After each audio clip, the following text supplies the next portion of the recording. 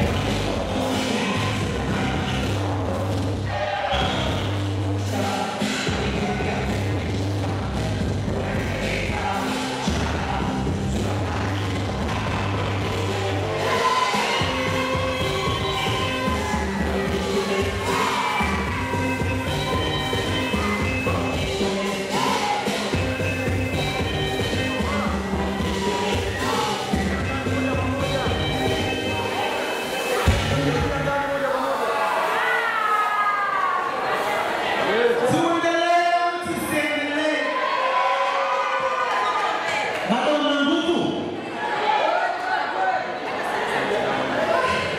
Sasa.